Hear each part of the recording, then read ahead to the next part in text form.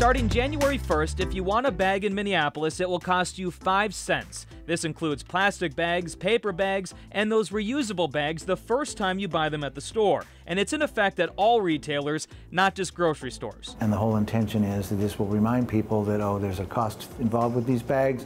Maybe I should bring my own bag and I'll be saving those five cents. Cam Gordon with the Minneapolis City Council wrote the ordinance and says there's a few exemptions. Dry cleaners that use bags on the clothes, those are okay. Takeout bags at restaurants and food trucks are okay too. Same goes for farmers markets and food shelves. Lots of bags in the store, produce bags and bread bags and all those other bags, they don't fall into this at all. We reached out to grocery stores to get their take on the bag fee. Kowalski says it's an unfair burden on their customers, and that January 1st deadline they say is not enough time for stores to change. But Gordon says that deadline isn't set in stone. What I want folks to know is from January 1st through to the spring, there's not going to be citations and fines. It's going to be education and technical assistance. Gordon says when it comes to green initiatives in Minneapolis, this is only the beginning. When you talk about climate and when you talk about getting to zero waste, there's a lot more work that we can do. Gordon Severson, KARE 11 News.